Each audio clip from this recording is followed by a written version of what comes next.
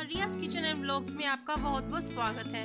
Friends, आज जो मैं आपके साथ रेसिपी शेयर करने जा रही हूँ, वो मैंने रेसिपी तैयार की है लेफ़्ट ओवर दाल से, यानी कि बची हुई दाल से मैंने कबाब रेडी किए हैं यहाँ पर, जो कि बहुत ही टेस्टी यमी बने हैं और सबको बहुत ही पसंद आए हैं ये कबाब। तो इसलिए मैं आपके साथ ये रेसिपी शेयर करने जा रही हूँ। ताकि आप भी इस रेसिपी को ज़रूर ट्राई करिए और बताइए कि आपको ये रेसिपी कैसी लगी। बची हुई दाल का ऐसा यूज़ आपने पहले कभी नहीं देखा होगा तो प्लीज़ वीडियो को एंड तक देखिएगा। सब्सक्राइब कीजिए रियाज किचन एंड ब्लॉग्स को और बेल आइकन को प्रेस कर दीजिए ताकि मेरे लेटेस्ट वीडियो का नोटिफिकेशन आपके पास पहुँच सके।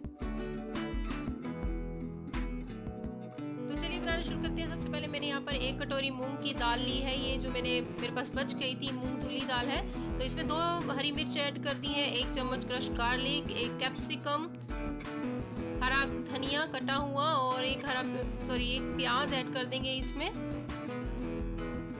इसके साथ ही इसमें ऐड कर देंगे ब्रेड क्रम्स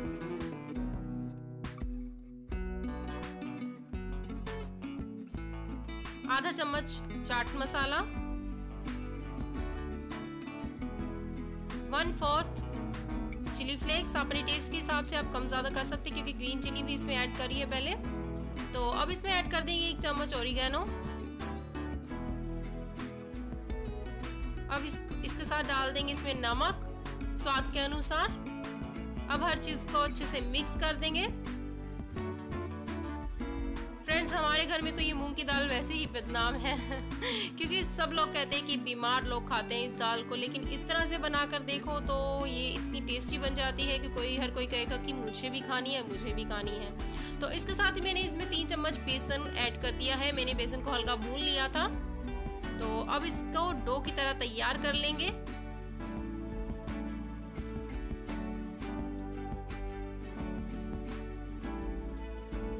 अब हाथों पे तेल लगा लेंगे थोड़ा सा और इसके बोल ले लेंगे। इसको थोड़ा फ्लैट करते हुए इसमें स्टिक ऐड करेंगे और इसे कबाब की शेप दे देंगे। ये बहुत इजीली बन जाती है। देखिए फ्रेंड्स बहुत अच्छे से बन गई है। इसी तरह से बाकी के कबाब भी हम रेडी कर लेंगे।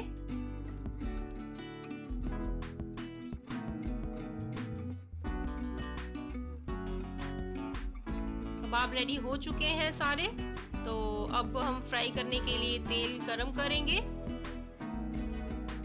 तेल अच्छे से गरम हो चुका है। अब हम इसमें कबाब डालेंगे और इन्हें अच्छे से फ्राई कर लेंगे गोल्डन ब्राउन होने तक। अच्छे से हिलाते हुए, जब ये एक बार अच्छे से थोड़े पक जाए, उसके बाद ही हमें इन्हें हिलाएँगे।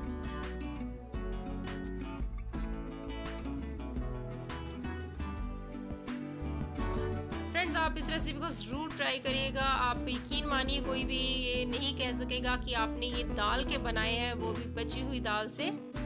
तो अभी ये गोल्डन ब्राउन हो चुके हैं। अब हमें इन्हें एक टिश्यू पर निकाल लेंगे, इनका तेल सारा निकालते हुए। और बाकी के कबाब भी हम इसी तरह से सारे फ्राई कर लेंगे।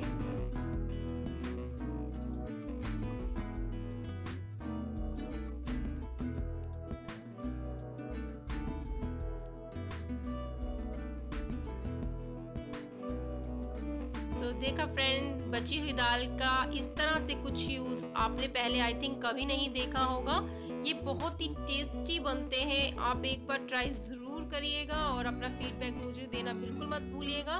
वीडियो को लाइक करिए शेयर करिएगा अपनी फैमिली फ्रेंड्स के साथ अगर आपको अच्छी लगे तो। अगर चैनल सब्सक्राइब अभी तक आपने नहीं किया है तो don't forget to subscribe my channel thanks for watching bye take care